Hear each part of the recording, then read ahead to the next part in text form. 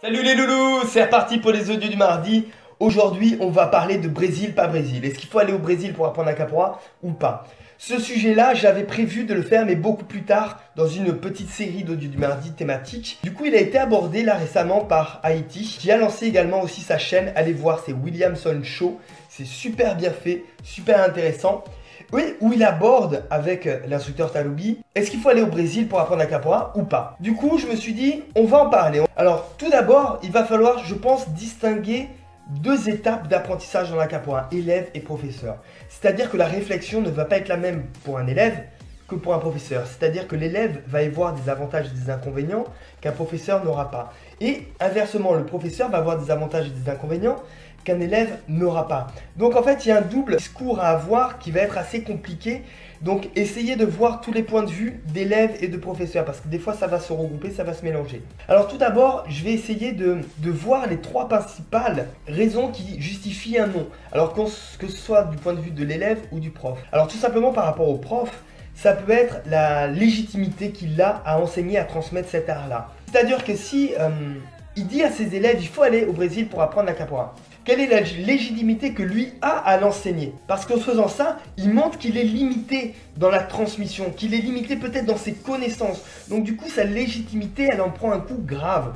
Donc bien sûr que les professeurs, tous les professeurs, ils vont vous dire que c'est pas obligé d'aller au Brésil pour apprendre capoeira. Parce que sinon, leur rôle à eux en est diminué. Bien sûr, ça c'est la caricature. Il y a toujours euh, des exceptions, des gens qui vont faire preuve de plus peut-être d'humilité et qui vont dire non, il y a une partie de la capoeira que tu vas apprendre au Brésil, l'autre tu l'apprendras avec moi. Ensuite, la deuxième raison qui peut expliquer un non, il faut pas aller au Brésil, est le fait de dire du bien des autres. Dans la capoeira, c'est super compliqué. C'est super compliqué parce que dire du bien des autres, c'est un peu dire du mal de soi. Je m'explique.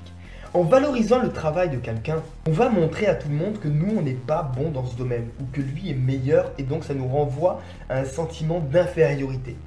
Et ce problème-là, dans la capora, je pense que c'est un problème qui gangrène beaucoup de choses. C'est le fait de ne pas réussir à valoriser sincèrement, honnêtement le travail de quelqu'un d'autre. Ça, on le voit à différents niveaux. Niveau groupe, un groupe va pas valoriser un autre groupe en disant ouais ce groupe là il est super bien et tout. Non, parce que sinon ça veut dire que nous on n'est pas bien. Et pareil dans les profs c'est la même chose. Ouais non ce prof là il est super bien, ça veut dire que moi je suis pas bien dans ce domaine là.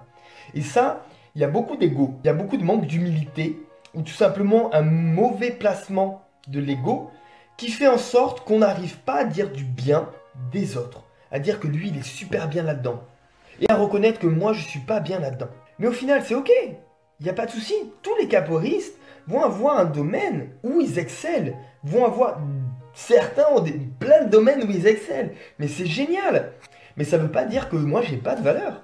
Il faut pas mettre son curseur là-dessus. Lui, il est bien, donc moi, je suis pas bien. Lui, il. Non, il y a de la place pour tout le monde.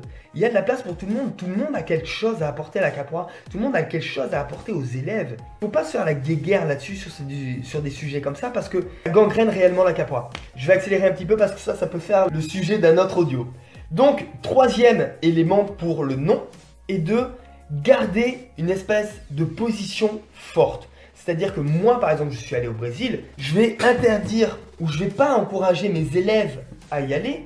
Comme ça, moi, je garde un savoir. Je verrouille et je le garde. Ça me permet, un, d'avoir cette position de nourrir mon ego, mon autosatisfaction. Et du coup, ça va verrouiller une position que personne ne pourra prendre.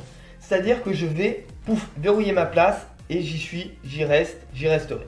Or là, c'est une, pour moi, c'est une grosse erreur c'est qu'en fait, le professeur ne doit pas apprendre. Pour moi, il doit apprendre à apprendre. Il doit montrer la mécanique de l'apprentissage, comment l'élève va réussir à apprendre tant les mouvements que la maîtrise de l'art de la capoeira, la culture, la musique, tout.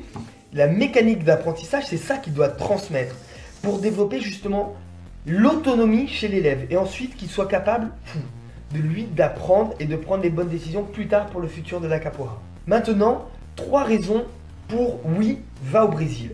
Alors, là, les raisons que je développe, c'est des raisons qui sont un petit peu infondées, qui sont un petit peu... Euh, tant pour le non, il faut pas y aller, tant pour le oui.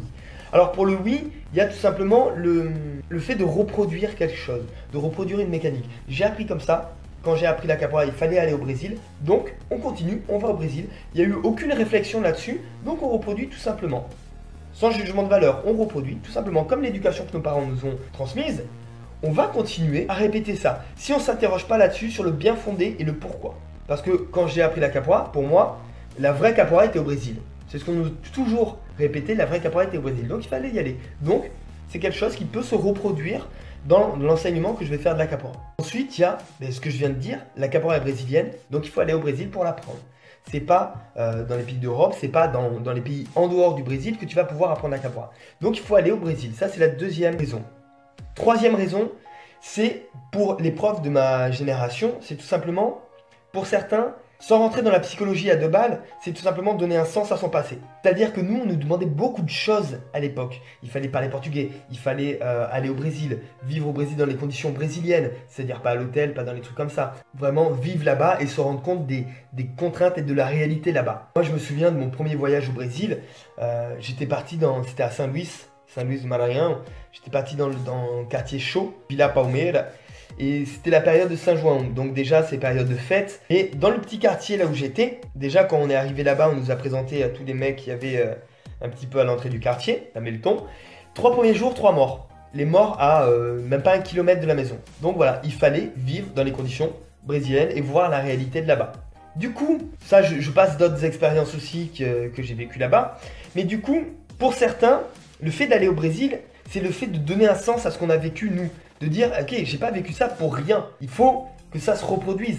C'est comme ça. Si je dis aujourd'hui non, c'est pas la peine d'aller au Brésil, peut-être que je vais manquer de sens dans ce que j'ai fait dans le passé, qui va faire que ça va me déstabiliser aujourd'hui et je vais pas être en mesure d'accepter ça par rapport à mon histoire personnelle. Du coup, je vais tout simplement dire il faut aller au Brésil, il faut vivre ça, il faut galérer, il faut faire ça, ça, ça. Et ça encore, ça pourrait faire euh, l'objet d'un autre audio de savoir est-ce qu'il faut que je fasse galérer mes élèves Est-ce qu'il faut qu'ils passent par les mêmes étapes que moi Ou au contraire, je vais essayer de comprimer, de compresser le temps et éviter qu'ils galèrent autant que j'ai galéré moi en prenant l'essence même de ce que j'ai appris, des leçons que j'en ai tirées et les transmettre. Mais ça, c'est une vaste question, on en parlera plus tard. Donc là, pour tenter à répondre, est-ce qu'il faut partir au Brésil ou pas pour apprendre la capoeira On va essayer de faire un petit état des lieux.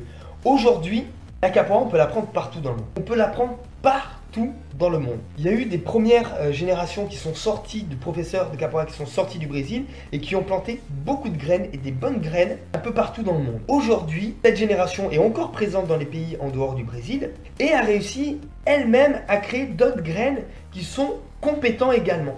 Donc oui, la capoeira, on peut l'apprendre en dehors du Brésil. On a un accès à une source fiable d'apprentissage, ce qui n'était pas toujours le cas avant.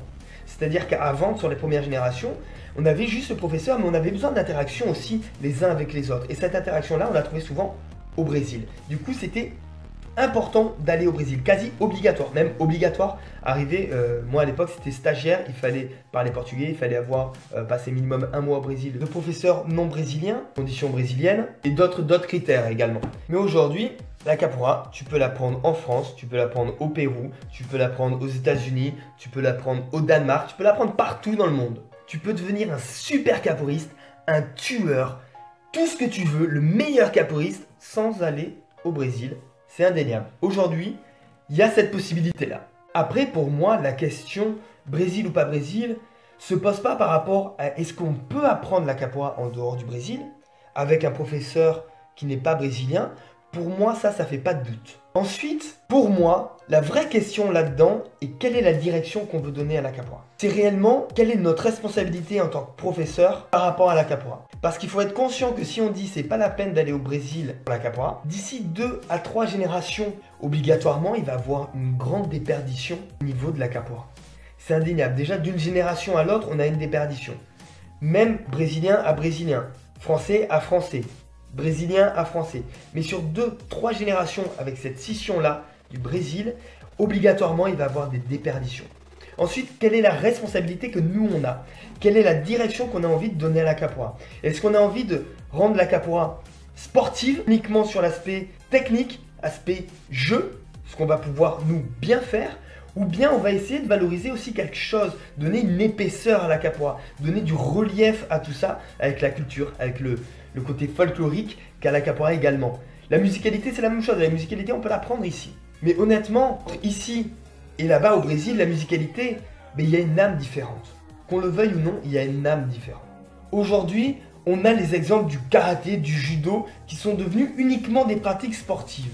Je suis pas là pour juger si c'est bien ou pas. Je suis pas là pour dire que la capoeira ne doit pas être comme ça ou qu'elle doit être comme ça. Je suis juste là à dire il faut réellement s'interroger là-dessus parce que dire qu'on voyage au Brésil ou pas va façonner les futures générations. Maintenant, qu'est-ce qu'on va faire de ça? Quelle est notre responsabilité là-dedans? Est-ce qu'on va aller dans cette direction ou cette direction? Peu importe, mais il faut que ce soit conscient ça. Il faut dire, ok, la capoeira, je veux la résumer, la réduire à une pratique sportive dans laquelle je vais exceller, je vais pousser le truc à fond. Ouais, c'est ok, il n'y a pas de souci.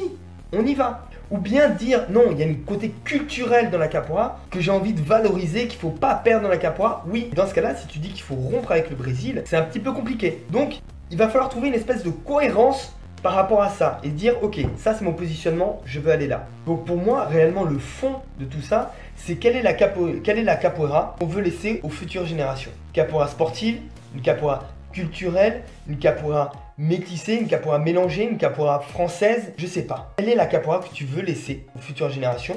Et les futures générations, quelle est la capoeira que vous avez envie de pratiquer? Parce que les élèves aussi, vous avez un poids là-dedans.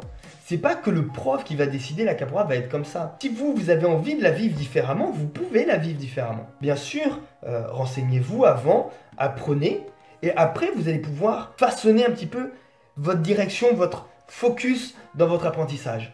Après, je pense aussi que un argument pour le non, ne pas aller au Brésil, vient d'une espèce de, comment je pourrais dire, d'affirmation, d'opposition, voire de rébellion par rapport au système qu'il y avait avant avec le Brésil, où tout ce qui se faisait, c'était le Brésil et c'était lui qui prenait tous les fruits du résultat du travail qui était fait en dehors du Brésil. C'est-à-dire qu'il y avait l'espèce de mécanique où seuls les Brésiliens pouvaient gagner et seuls les Brésiliens pouvaient avoir quelque chose dans la capoeira, quelque chose de légitime, quelque chose de qualité. Bref, c'était le Brésil qui gagnait toujours euh, sur tous les plans là-dessus. Et je pense aussi qu'il y a une espèce de réaction par rapport à ça, une réaction d'opposition, d'affirmation, où on se dit non, nous aussi on est capable de, nous aussi on peut faire sans vous. Et je pense que ça conditionne pas mal de schémas de pensée qui vont faire en sorte que non, on va pas aller au Brésil, c'est pas la peine pour apprendre la capoeira. Et donc là-dessus, je pense qu'il serait plus intéressant d'agir plutôt que de réagir. C'est-à-dire que de se poser, ok, faire un état des lieux, qu'est-ce que la capoeira a besoin? Quelle est la direction que j'ai envie de donner à mon enseignement, aux futures générations? Qu'est-ce que j'ai envie de léguer à la capoeira Et de s'interroger réellement là-dessus et ensuite répondre à cette question-là. Parce que cette question-là est super importante par rapport au futur qu'on va laisser dans la capoeira. La direction qu'on va donner. Aller au Brésil ou ne pas y aller. Je vais terminer cet audio là parce qu'on pourrait en parler pendant longtemps longtemps. Mais de toute façon c'est ce qu'on va faire ce soir dans le live à 22h30 sur la chaîne Furupa Capoeira. Si t'es pas abonné, abonne-toi comme ça tu recevras les notifications. 22h30 un live et on va débattre. Tu peux poser toutes tes questions sur la vidéo YouTube. J'y réponds ce soir dans le live et bien sûr on pourra interagir mais en priorité je vais répondre aux questions qui sont posées sur la vidéo YouTube. Donc là en bas. Et pour conclure très rapidement pour moi est-ce que on doit aller au Brésil ou pas? Pour moi c'est quelque chose qui doit se faire dans le développement de chacun. Dans le développement personnel du capoeiriste dans son chemin. Mais l'étape Brésil est une étape importante. Pour moi, c'est une étape importante. Est-ce qu'elle est obligatoire? Non. Est-ce qu'elle est importante? Oui. Est-ce qu'elle est super importante? Oui c'est elle qui va faire aussi une différence dans ton parcours de capoeira, dans ton chemin de capoeiriste. Ça va faire la différence entre quelqu'un qui apprend, qui est super fort techniquement, qui est super fort musicalement et compagnie, et quelqu'un qui a vécu, parce que la capoeira c'est un art vivant, et quelqu'un qui a vécu la capoeira au Brésil, qui a vécu également la capoeira dans d'autres euh, lieux du monde, c'est quelqu'un qui va s'enrichir de tout ça et qui va réellement imprégner au niveau corporel toute l'énergie, tous les ressentis, toutes les vibrations et ça va faire la différence dans sa perception de la capoeira. Pour moi, c'est super important. Est-ce que ça doit se faire dans la période d'élève? Non, pas obligatoire. Dans la période de professeur? Oui. C'est là où ça doit intervenir. Donc les loulous, je vous laisse. On se voit ce soir pour le live. Je vous souhaite le meilleur. Ciao